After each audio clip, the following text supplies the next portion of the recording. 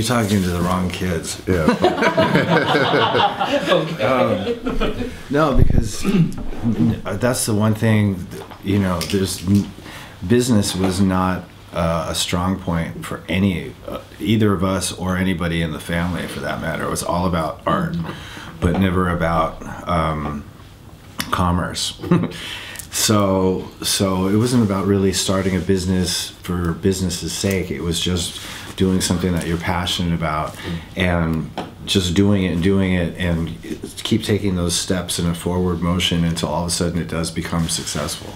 And then uh, yeah, and then it was it's it's an interesting it's when it when it does become successful, you're like, well, it's cool that people like it, but all the other stuff that goes with it starts to become a real pain in the ass. Mm-hmm. Because it's not necessarily mm-hmm. that aspect of it is not mm-hmm. fun, you know, and and I don't I don't enjoy it. So I've been forced to learn how to deal with business because I I have to, but uh, I've never considered myself a businessman or or anything like that. Yeah, it's it's you know for sure. I've made every mistake and, Yeah. and pitfall, and you know, ten years plus of like really struggling through the business, but loving what I did so much that not wanting to walk away from it. So always kind of like trying to rekindle or put the pieces of the puzzle back together to make it a successful brand again.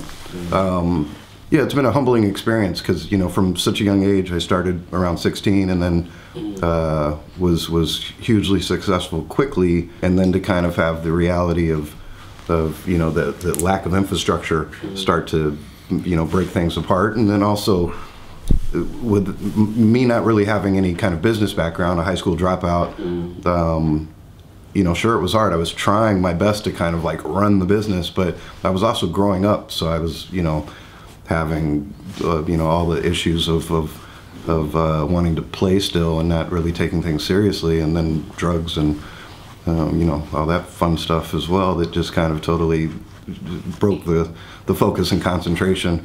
Well, I mean, I just, I, I, you know, I tried letting other people take care of it, and I learned the hard way not to do that. So now, you know, now I, I have to look at business very, very seriously. But uh, you know, I, you, you try to avoid that issue, trying to, you know, put the responsibility on somebody else. But even, even if you hire professionals to do it for you, you have to know exactly what's going on. You know.